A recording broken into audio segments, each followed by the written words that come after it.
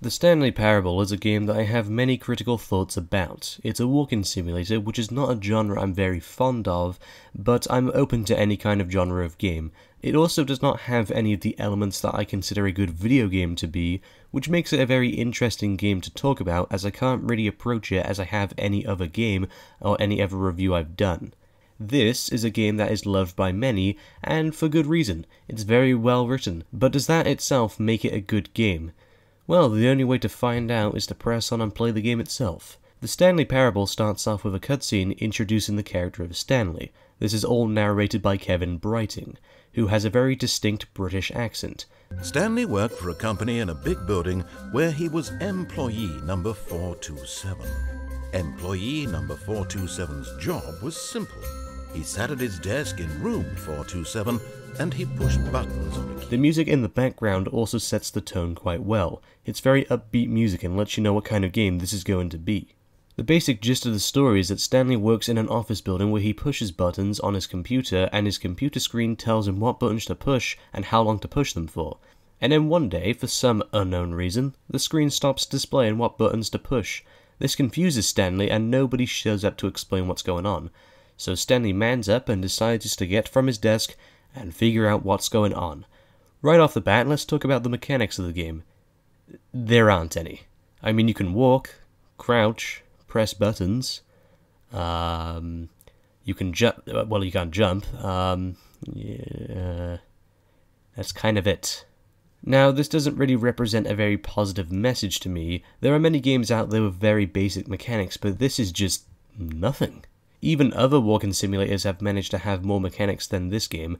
Those games sucked, however, so I don't know if I would really be fond of that kind of style. And many would argue that maybe a video game doesn't need to have that kind of gameplay, but I would argue otherwise. You see, in my opinion, what makes a good single player game is three specific things. Challenging gameplay. There has to be an obstacle for the player to overcome, and the higher the obstacle, the more rewarding it is to overcome it. Balanced gameplay. Gameplay that doesn't unfairly punish the player or set an unfair challenge upon them. And 3. Understandable gameplay. This means that your gameplay is well explained and designed in a way so that the player can adapt to it as the game progresses and eventually gets harder. Now obviously there are some games and even some genres of games that these rules can't really be applied to, but I think this can be generally applied to most games out there. I mean not every game is created equal and expectations are different, so that's something to keep in mind during this critique. But anyway, the Stanley Parable fails at all three of these categories, and I won't immediately label it as a bad game without taking the rest of the experience into consideration, but it is something worth noting. This game puts the story and writing first, which does not sit well with me, but more on that later. The issue with this game is that there is so many branching paths to choose that it's hard to decide which order to talk about them in. I guess I'll talk about them in the order I did them. So the first path I chose during this playthrough was disobeying the narrator, which he increasingly becomes angry about. At first, he allows you to walk through the employee lounge and gives you the option of getting back on track. Now, if I did have any issues with this path, is that if you take this early game, like I did, then it can feel a bit overwhelming. I love having multiple options, but when you have so many options put upon you this early in the game, it can feel like a bit too much pressure is being put on you. Though many would argue that this could be a good thing, as it makes the decisions the player makes more impactful, but none of the choices are locked away from you at any point so you can go to them afterwards so it isn't a massive issue on the first time playthrough, but it can feel a bit uncomfortable, which is not really the kind of feeling I want to experience when playing this kind of game. I mean, the Stanley Parable isn't meant to be the kind of game where you feel uncomfortable. If you continue to the next room, the narrator proceeds to insult Stanley. Eventually you end up in a facility with trucks and boxes. You can stay on the platform which will lead to a room with a phone, which will take you to Stanley's supposed apartment with his wife. Turns out he doesn't have a wife, it's just a maniac, I mean mannequin, what I do like is that if you try to walk away, a brick wall comes up. Goodbye, logic. Might as well just have the words fuck off written on the wall. What I do like is that the narrator talks more about Stanley and his life, and how he's destined to push buttons pretty much forever. I like this quite a lot. It isn't very subtle, but it is a nice hint towards the fact that Stanley's job is just to push buttons, and that's exactly what you do when playing a video game. The apartment slowly turns into Stanley's office, which is something I need to mention is that each time you approach an ending, the game resets after the ending finishes. Going backwards a bit, if you chose to jump off the platform, then it'll take you to a room with a red door and a blue door. Boy, someone who's colorblind must hate this part. If you walk through the red door, then you'll keep walking in circles until the narrator opens two doors. You then get transported to a room with some new age music and glowing lights and... Ah, this is relaxing.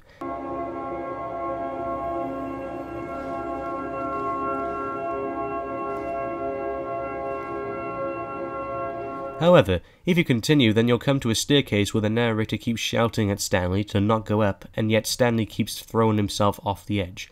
Though you can make the narrator happy again if you go back to the relaxing room. If you proceed to keep jumping off, then Stanley will die and the game resets. This ending is funny and I like it a lot, plus the music is very soothing. There is also another ending where if you jump off the platform, the narrator will say this. But in his eagerness to prove that he is in control of the story and no one gets to tell him what to do, Stanley leapt from the platform and plunged to his death.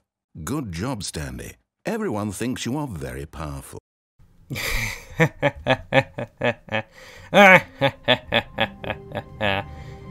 ah, okay.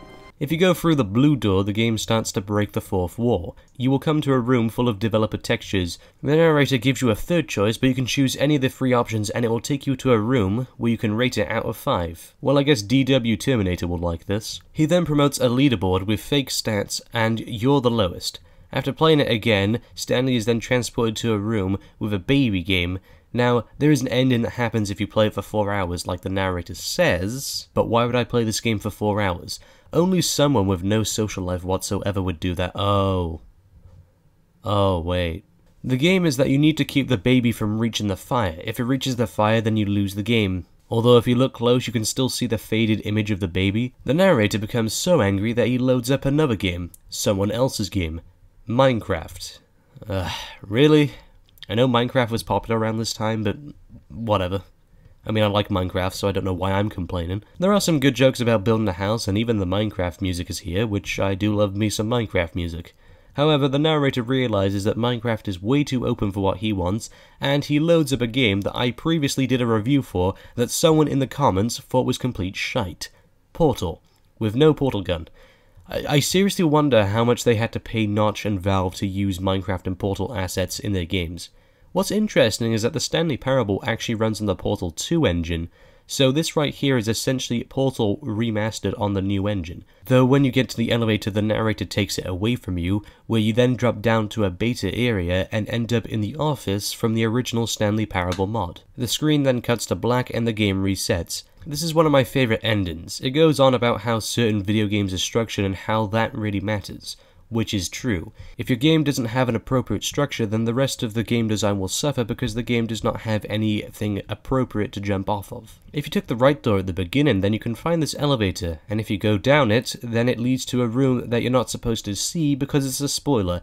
Now this is pretty funny, but if you've played the happy ending before reaching this ending, then it isn't really a spoiler, and thus the whole restart makes no sense. When the game restarts, there are six doors now instead of two, and they all lead to endless corridors. This then leads to another restart with no doors, and then another restart where the narrator brings out a kind of whoop-ass on these multiple path problems and just invents a line for us to follow. I gotta say though, I love this visual trick of a wall appearing and disappearing. It must have really taken a lot to pull that effect off. Although it works for a certain time period, the line eventually fucks up and forces another restart. Oh god, I'm I'm already tired of this restart gimmick. If it was just one pathway that included it, then I would have been fine with it, but it's included in multiple paths and it isn't special anymore. I'm getting sick of it. After restarting the game, Stanley and the narrator decide to ignore the adventure line, and they eventually come to a room that says this entire restart nonsense was just one big ending. Boy, I didn't see that coming. And by didn't see that coming, I, what I really meant was, it was fucking obvious from the start. It is kind of funny to see what would have happened if they kept restarting the game, though. But this leads to another question that nobody really cares about. If this is a part of the ending, then if the game restarts, it should follow the schedule, and if it doesn't, then that's where the schedule should end, is after the fourth restart. Well, it says after the eighth restart that Stanley dies. So I guess the next ending to talk about is the one where Stanley dies. If you choose to go downstairs instead of heading up to the boss's office, then you'll go to a room with a car and a room with clocks, which makes the obvious joke about Valve and the number 3. because as you know, there's a there's a certain sequel out there that uh, we've we've been waiting for for over ten years, and it it's never gonna happen. But I really wanted to. The narrator keeps talking about Stanley's imagination and how he can do what he wants because everything here is a dream. He begins to fly, and then he is in space. But then Stanley tries to wake himself up, and it turns out that Stanley is going crazy and running around the streets, and then he collapses and dies on the floor, with a person named Mariella standing over Stanley's body. I don't really have any complaints about this ending, only that I wish the game did more manipulation of the player's movements and visibility because I truly think it could have led to something really creative and interesting. But I mostly wish this just because of the fact that most of the game is just walking down one of 5 billion paths. Now yes, visually and narratively they are different, but in terms of gameplay, all you're doing is walking and pressing a button or two. Really isn't very fun. People like to talk about the broom closet when they talk about their favourite moments from the Stanley Parable, but I don't really have anything all that funny to say about it. Oh, wow, it's really funny that the player is staying in a broom closet. He's doing sweet FA. Oh, did he get the broom closet ended? Yeah, whatever, I don't really care. This is one of the only instances where I don't really like the writing, because for the most part the writing and timing of certain jokes is spot on, but this is just nothing. The narrator also says, Hello? Anyone who happens to be nearby?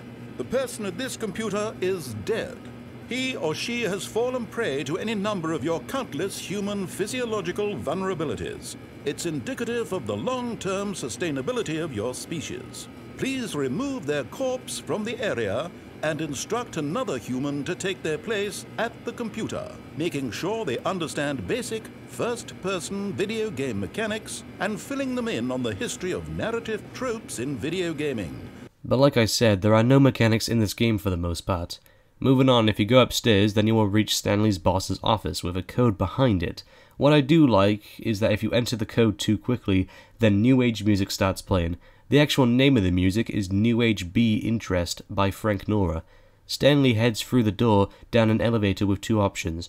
The one right in front of you is the mind control facility where you press a button and see 500 or so screens of offices, showing Stanley that he has been watched all this time. Once again, this room was shown earlier, and you can even see the catwalk where the spoiler was. After going up the elevator, Stanley becomes to Professor Xavier's big Cerebro room. I mean, it looks the same. Don't tell me it doesn't look the same, because it does.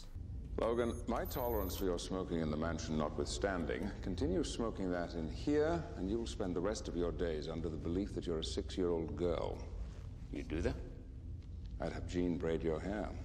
Oh my goodness. Patrick Stewart just threatened Hugh Jackman. He has two options turn it off or turn it on. If you turn it off, then the whole screen goes black and a door opens as the narrator talks all about the mysteries still left unsolved, but how Stanley does not really care because he's already satisfied with what he has. Which I think is something a lot of writers for stories need to understand when writing stories. You should answer questions, but not every question. What keeps people coming back is the mysteries and curiosity to find out more and also just making a good game. This is the way the narrator wanted the story to end all along. This is the correct way to play the Stanley Parable. But I think it says something when people don't really want to play by the rules and find more negative options interesting. It shows that just because you have a very happy and very satisfying ending, it doesn't always make the ending appeal to everyone. Even if you do tie up all loose ends, some will just naturally gravitate towards other options. If you press the on button, then the narrator talks about how stupid Stanley is and how the building is going to blow up, and also how it isn't a cutscene because he likes to see Stanley panic. You may think I'm taking these sentences a bit too literally, but think about it, it's true. A player can still feel tension through a cutscene, but there is more tension when it's actual gameplay, as it is directly affecting you, the player, instead of a character you're playing in a cutscene. Then everything explodes. However, my favourite ending has to be this one. Before entering the mind control facility, there is a sign saying escape, which leads to a large corridor, and Stanley falls down a hole into a conveyor belt with a crusher. Before Stanley is crushed into a million pieces, the narrator keeps telling Stanley to restart the game until he is replaced by another narrator, talking about an issue that I've had with video games for many years. When every path you can walk has been created for you long in advance, Death becomes meaningless, making life the same. Do you see now?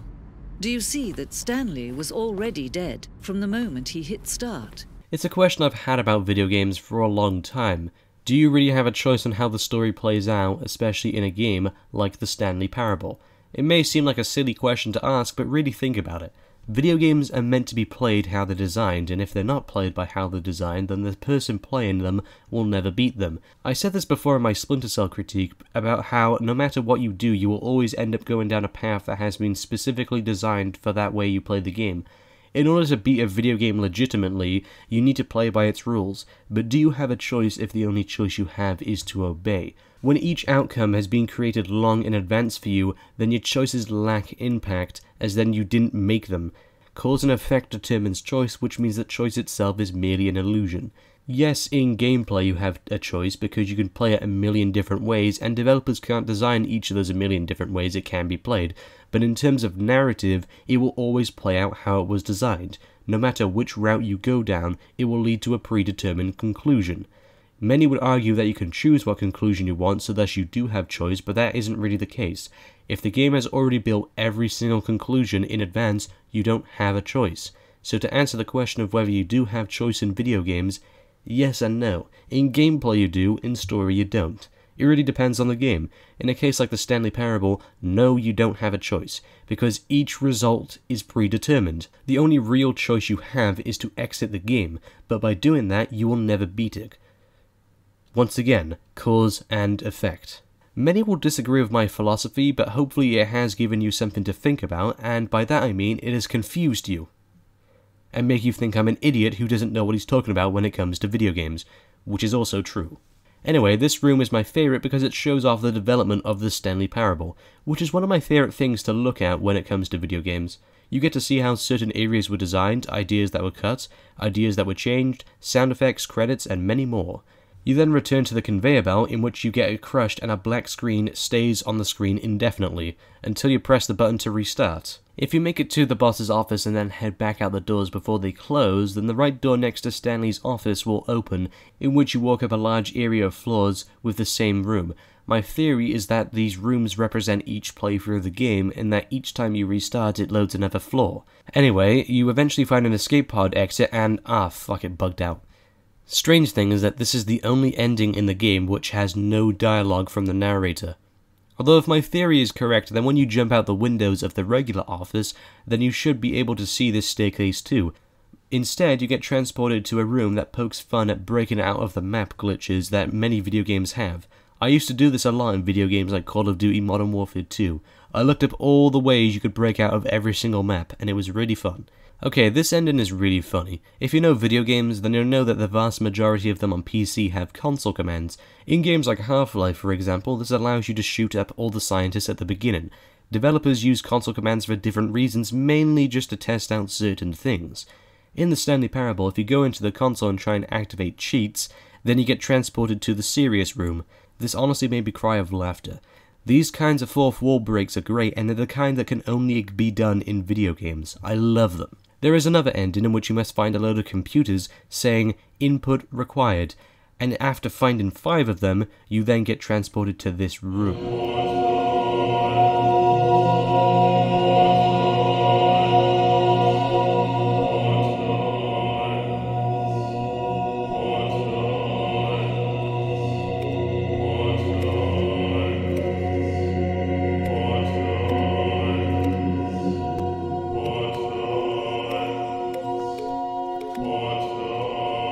Yeah, I don't really have much to add to it.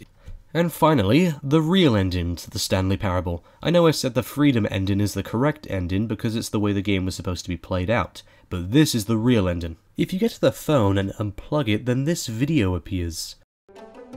Choice. It's the best part of being a real person, but if used incorrectly can also be the most dangerous. For example, in this scenario, a hypothetical real person named Stephen has a choice. He could spend years helping improve the quality of life for citizens of impoverished third world nations. Or he could systematically set fire to every orphan living in a 30 kilometer radius of his house. Which choice would you make? Remember that unlike here, the real world makes sense, and at no time should you make a choice that does not conform to rational logic. If you find yourself speaking with a person who does not make sense, in all likelihood, that person is not real. Allow the person to finish their thought, then provide an excuse why you cannot continue talking. Turn to a partner and practice saying, My goodness, is it 4:30? I'm supposed to be having a back sack and crack. My goodness, it's 4.30, I'm supposed to be having a back sack and crack.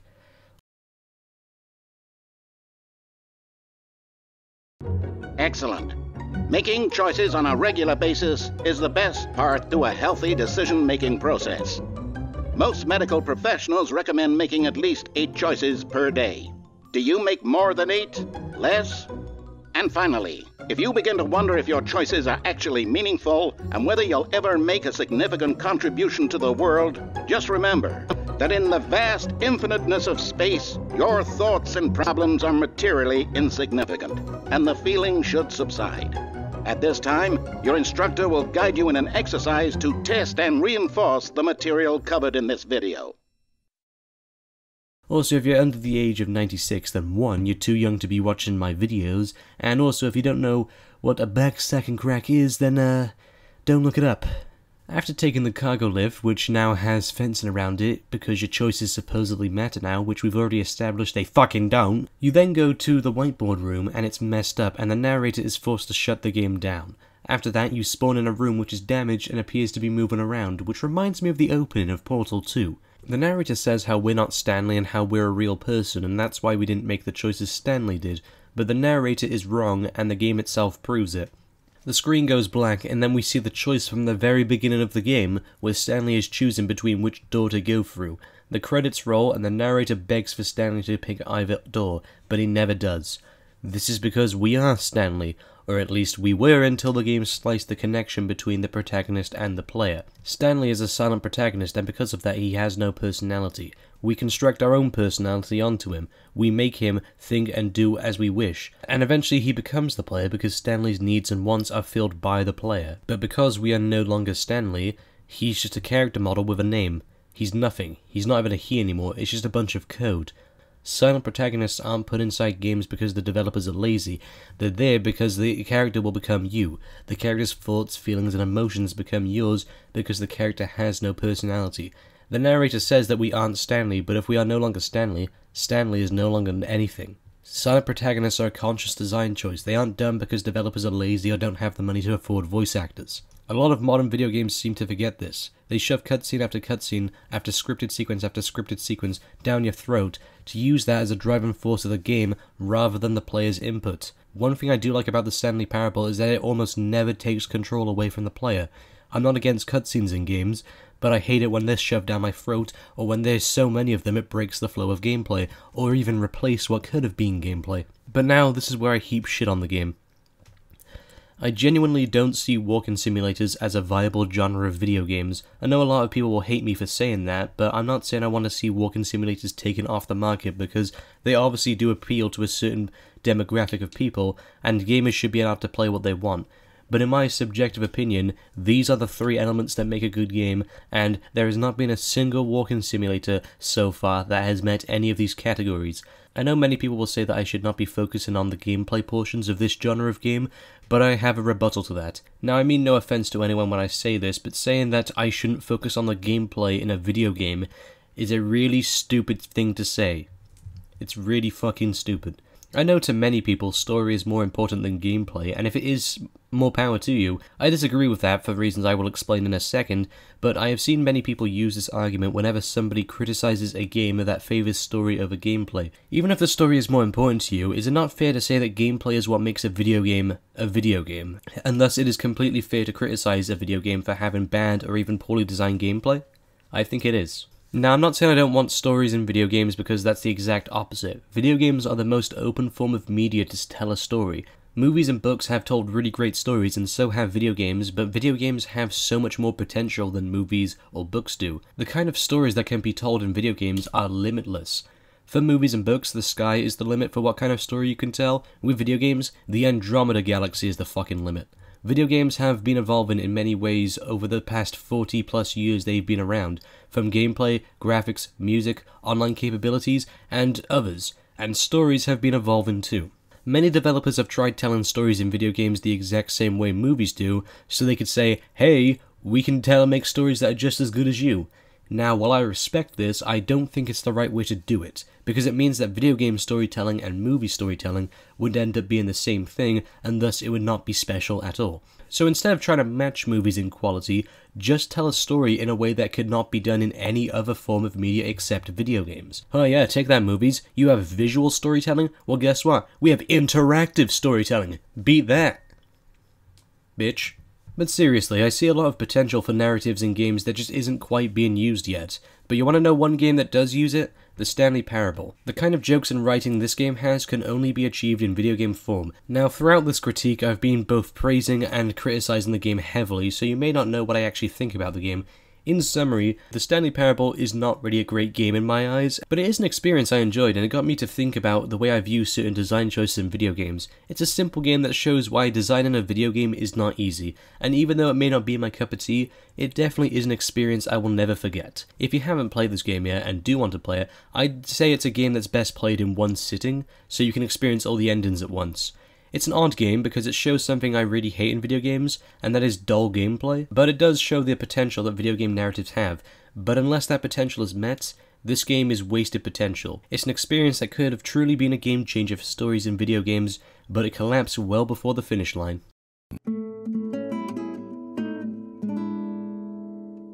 There once was a man named Stanley, who people considered so manly. But the truth must be told, he was not very old and was quite particularly gangly. What Stanley liked most was buttons. He pushed them like some kind of glutton. He did it all day in a meaningful way, but his brain had long ceased to function. Which is why he is in this parable and lives an existence quite terrible.